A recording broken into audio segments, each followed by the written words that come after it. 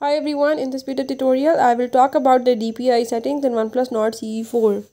If you want to do the DPI settings or if you want to learn about them, I will tell you how you can do it. You have to watch complete video, follow all the steps and if you are new here and watching the video for the first time then don't forget to subscribe my channel. For further details, now let's move to the video.